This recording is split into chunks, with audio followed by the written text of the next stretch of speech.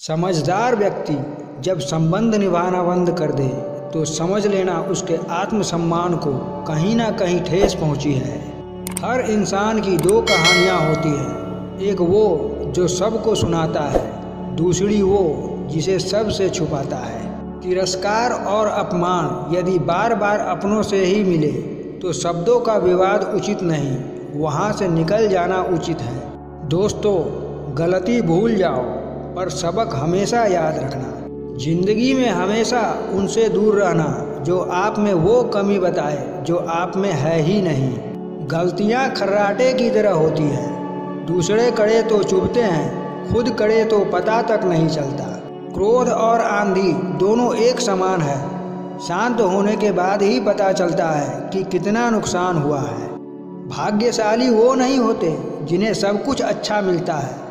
बल्कि वो होते हैं जिन्हें जो मिलता है, उसे अच्छा बना लेते हैं। आँख बंद कर लेने से समस्याएँ खत्म नहीं हो जाती।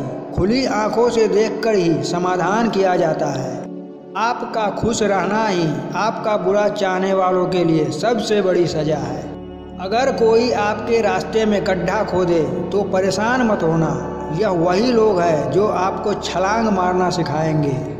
तुमने खुद को कमज़ोर मान रखा है, वरना जो तुम कर सकते हो, वो कोई दूसरा नहीं कर सकता। सबको खुश रखना, मेढक को तराजू में तोड़ने जैसा है। एक को रखो तो दूसरा कूद कर बाहर निकल जाता है। तू हंस, तू मुस्कुरा, बस रोना कम कर दे। अगर ज़िंदा है तो जा, ज़िंदगी के नाक में दम कर दे। लोग आपके बारे में अच्छा सुनने पर शक करते हैं, लेकिन बुरा सुनने पर तुरंत यकीन कर लेते हैं। आमदनी पर्याप्त ना हो तो खर्चों पर नियंत्रण रखिए। जानकारी पर्याप्त ना हो तो शब्दों पर नियंत्रण रखिए। हारता वो है जो शिकायतें बार बार करता है। जीतता वो है जो कोशिशें हज़ार बार करता है। ज़िंदगी में बस दो लोग ही असफल होते हैं। एक वो जो सोचते हैं पर करते नहीं। दूसरे वो जो करते हैं पर सोचते नहीं। हालात गरीब हो तो चलेगा, लेकिन सोच भिखारी नहीं होनी चाहिए। किस बात पे अड़े हो, वहीं से शुरुआत करो, जहाँ पे तुम आज खड़े हो। ज़िंदगी जीने के दो तरीके हैं, जो पसंद है उसे हासिल कर लो, या जो हासिल है उसे पसंद कर लो। शांति की तलाश तो सभी करते हैं, बस समस्या यह है कि शांति से तलाश कोई नहीं करता। गुस्सा माचिस की तरह होता है जो दूसरों को जलाने से पहले खुद को जला देती है। शांत रहना सीखो, क्योंकि लोहा ठंडा होने पर मज़बूत होता है, पर गर्म होने पर उसे किसी भी आकार में ढाल दिया जाता है। भाग्य बदल जाता है अगर इरादे मज़बूत हो, वरना जीवन बीत जाता है किस्मत को दोष देने में। पहले मैं होशियार था, इसलिए दुनिया बदलने चला था। आज मैं समझदार हूँ, इसलिए खुद को बदल रहा हूँ। मीठा सा होता है सफ़र ये ज़िंदगी का। बस करवाहट तो किसी से ज़्यादा उम्मीद रखने से होती है। ज़िंदगी में दो बातों की गिनती करना छोड़ दो। खुद का दुख और दूसरों का सुख, फिर ज़िंदगी आसान हो जाएगी। वह क्या सफल होगा जो निर्भर हो गैरों पर?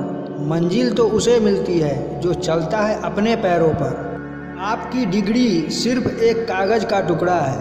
आपकी असली शिक्षा तो आपके व्यवहार से दिखती है। रात भर गहरी नींद आना इतना भी आसान नहीं होता। उसके लिए दिन भर ईमानदारी से जीना पड़ता है। रिश्तों को मज़बूत बनाने के लिए एक दूसरे की कमियाँ नहीं गिनाई जाती, बल्कि उन्हें नज़रअंदाज किया जाता है। स्वाद छोड़ दो तो शरीर को लाभ है, विवाद छोड़ दो तो संबंधों को लाभ है, और अगर व्यर्थ की चिंता छोड़ दो तो पूरे जीवन को लाभ है। ना किसी के अभाव में जियो, ना किसी के प्रभाव में जियो। ये ज़िंदगी है आपकी, बस अपने मस्त स्वभाव में जियो। अपशब्द एक ऐसी चिंगारी है, जो कान में नहीं, सीधे मन में आग लगाती है। जो है, जितना है, उसी में खुश रहना सीखो, क्योंकि ज़रूरत से ज़्यादा रोशनी भी इंसान को अंधा बना देती है। सबक ज़िंदगी ने सिखाया है मुझे, मेरे अपनों ने ही रुलाया है मुझे। ये रिश्ते भी अजीब होते हैं, बिना विश्वास के शुरू नहीं होते और बिना धोखे के ख़त्म भी नहीं होते। बड़े बुज़ुर्ग कहते हैं, गरीब व्यक्ति की हाय और दोगले व्यक्ति की राय कभी नहीं लेनी चाहिए।